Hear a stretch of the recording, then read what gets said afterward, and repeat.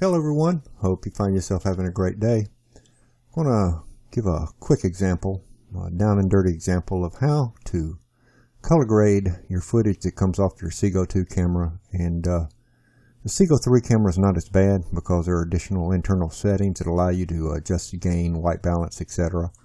But the CGO 2 is notorious for its uh, golden overtoning of the footage that it captures. So hopefully with this short example, I can help some people out there and maybe uh, offer you a way to provide uh, better corrections to your footage and get the most out of it. So I've got a few samples here that I'm going to work with. I've got one that's uh, especially uh, notorious, in my opinion, where the yellow that you see in the footage before us is just uh, oversaturated. It's too bright. It's too bright for my opinion. Now, this was shot during the golden hour, about an hour before sunset, so you can expect these kind of colors, but I'd like for them to be a little more subdued. I'd like for my blacks to be a little darker, and uh, I just like to have a little more boldness, a little richer color.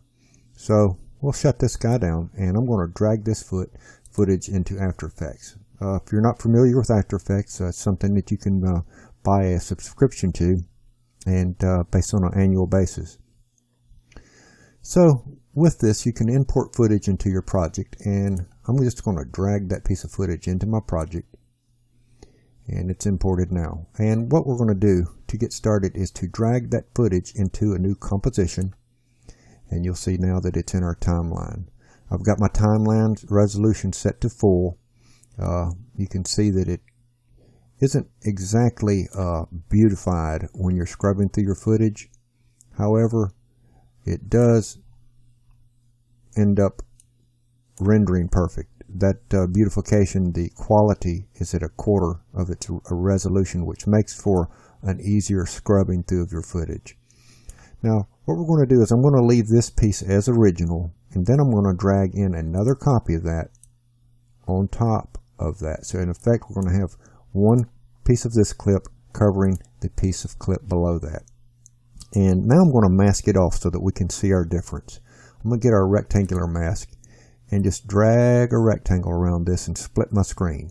So in effect, I've got a mask masking out half of this footage. And then the remainder is what is the footage that's beneath it. So we can begin by taking our footage that we're going to apply our color grading to. Now, if you go up top under Effect, Color Correction, first thing I'm going to do is I'm going to adjust the levels on this footage. All right. And this is very similar to Photoshop, how you might adjust the levels on a photo. Now, levels are going to allow me to crush the blacks, brighten up or darken the blacks, and, and convert more of a gray to more of a bold black. And you're going to see that evident on the screen as I begin to crush those blacks. See, I can take it way off or just a little bit. Here's unaffected and I'm going to crush those blacks just a little bit. And you'll see, especially in the shadow areas, in the midtones, as I slide this back and forth, I'm crushing those blacks. I'm bringing out a little bit of richness in there. And it's virtually not affecting the color. Not too much. It affects some of the darker tones of color. I'm going to leave it about right there. Okay.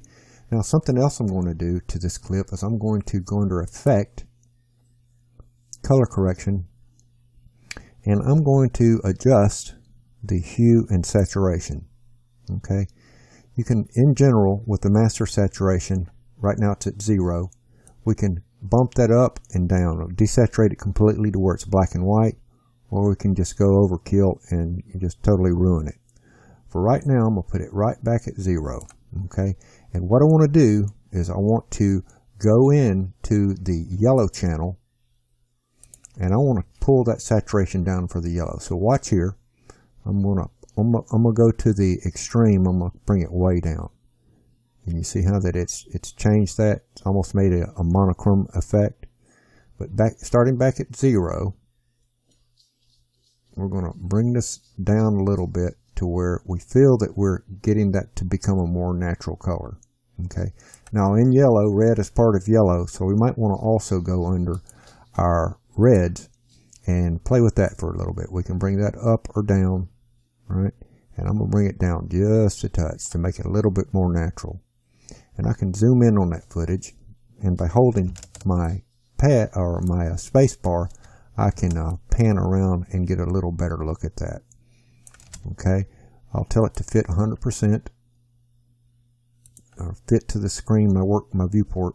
And as we scrub through that, you'll see that we've got our footage that we've altered, that we've manipulated, that we've in a sense crushed the blacks, bringing out a, a richer, deeper, uh, more contrasty image, and we subdued those yellows substantially. If you look on the horizon here compared to this other segment that we've not treated, once this footage pans, you'll see that here you can see that it's a much golder, more exaggerated gold, more exaggerated yellow, and here it's less.